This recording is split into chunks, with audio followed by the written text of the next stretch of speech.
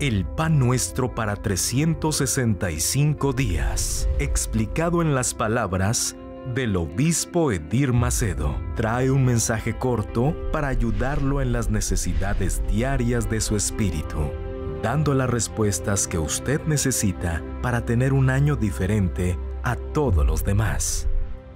Día 310. Dime con quién andas. El que anda con los sabios se hará sabio, pero el que se junta con los necios sufrirá daño. El que anda con los sabios se hará sabio, pero el que se junta con los necios sufrirá daño. Elija bien a aquellos con quien usted anda.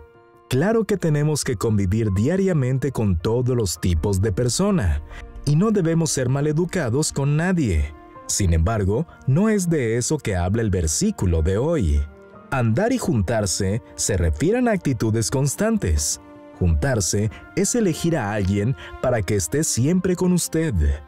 Las compañías dan consejos o hacen comentarios que pueden influenciarlo.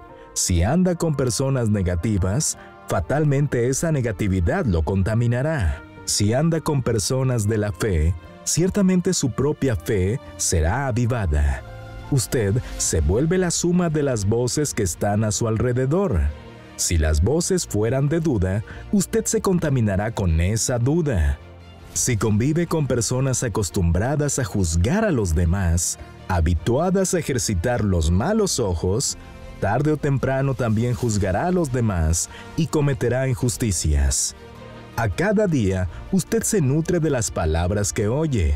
Si esas palabras fueron negativas, de duda, de malicia, de desconfianza, usted se llenará de la basura traída por ellas y en breve esa basura rebalsará.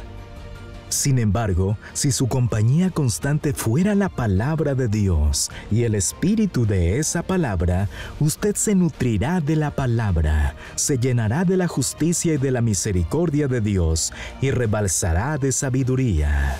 El contacto con personas que tengan el mismo espíritu solo reforzará esto. Elija muy bien con quienes anda. Las compañías pueden influenciarlo para bien o para mal.